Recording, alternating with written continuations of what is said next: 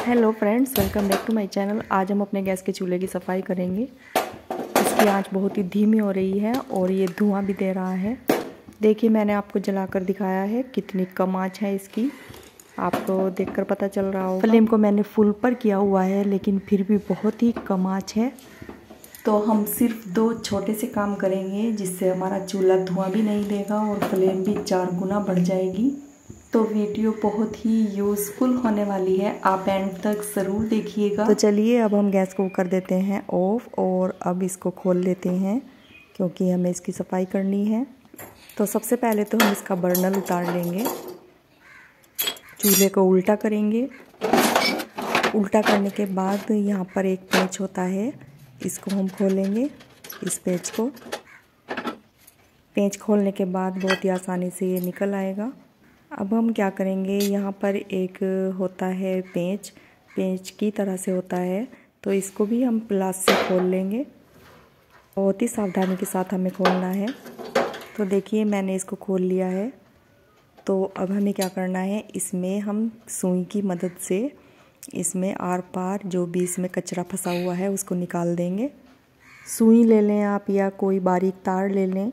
इसमें कचरा फंस जाता है तो कचरा फंसा होने की वजह से ही ये धुआँ भी देने लगता है चूल्हा और आँच भी बहुत ही कम हो जाती है।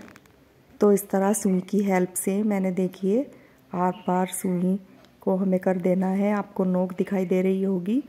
इस तरह से जो भी इसमें कचरा था वो निकल जाएगा। और दोनों ही साइड से मैं इस तरह से इसको साफ़ करूँगी। बस अच्छे से इस तरह से इसको साफ़ करने के बाद हम वापस हम इसी तरह से इसको कस देंगे प्लास से। ज़्यादा भी आपको इसको टाइट नहीं कसना है, नहीं तो ये टूट सकता है। तो बस मैंने इस पेज को कस दिया है।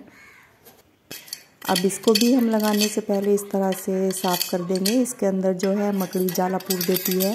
तो जाला पूरने की वजह से ये धुआँ देने लगता है और आँच भी कम हो जाती है। तो पेचकस की हेल्प से हम इस तरह से इसको भी साफ़ कर देंगे। जो भी इसमें कचरा होगा, वो साफ़ हो जाएगा। देखिए, इस तरह से ही बस आप साफ़ करें। तो साफ़ करने के बाद अच्छे से बहुत हम इसको वापस फिर से इसी तरह से लगा देंगे। इस तरह से यहाँ पर जो इसका पेंच होता है, उसे भी कस देंगे। चलिए, मैं अब आपको जला कर दिखाती हूँ। देखिए, पहले से कहीं ज़्यादा इसकी लो बढ़ गई है। तो चलिए मैं आपको दोनों ही चूल्हे जलाकर दिखाऊँगी। पहले से चार गुना फ्लेम बढ़ गई है और अब धुआँ भी नहीं दे रहा है। वीडियो को आप बैक करके देख सकते हैं। पहले जब मैंने आपको चूल्हा जलाकर दिखाया था तो बिल्कुल दिखाई नहीं दे रही थी लो। और अब देखिए कितनी लंबी लो हो चुकी है। तो अगर आपके चूल्हे में भी यही प्रॉब्लम आ रही है तो आप घर पर ही इसी तरह से ठीक कर सकते हैं।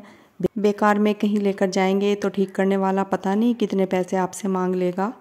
तो अपने पैसे बचाइए, सिर्फ़ ये दो छोटे से काम करके। तो आई होप आपको वीडियो पसंद आई होगी।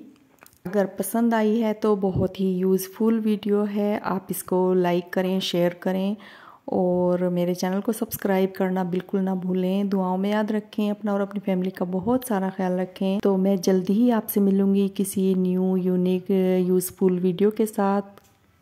Thanks for watching this video अल्लाह हाफिज़।